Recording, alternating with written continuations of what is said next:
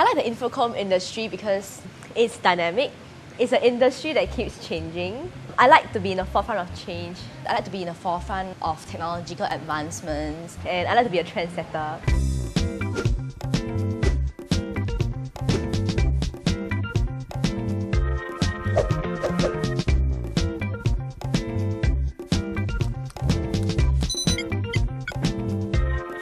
currently, right, in the business world, IT is very, very much valued. It's no longer a tool that is just used for operation. A few years ago, who would have thought like Facebook would be so famous? It's just a simple tool, you know, just a website that everyone can build. Today, right, all the companies, all the big organizations are going into Facebook. Why I like so much about um, being in this industry is that the only limit is your imagination.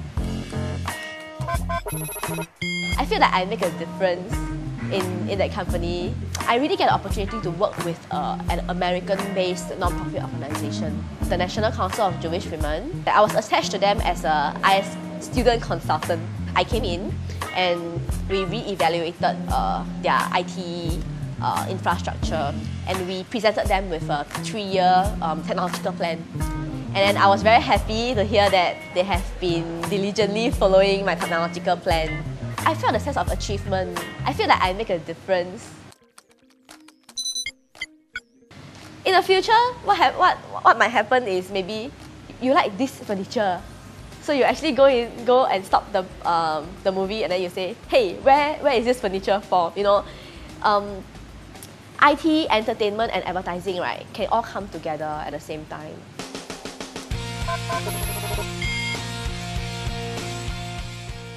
If you are passionate about IT and, and you think that it's an industry that is um, suitable for you, I would say go for it. It's very easy for you to apply it to, the, to different um, industries. The knowledge, the amount of knowledge that I have, right, the business knowledge that I have acquired so far, right, I can easily go into marketing. Marketing also needs IS, by the way. um, I can go into customer service, customer care. It also needs IS. If you know that you are passionate now about this industry, go for it. There's really nothing to lose.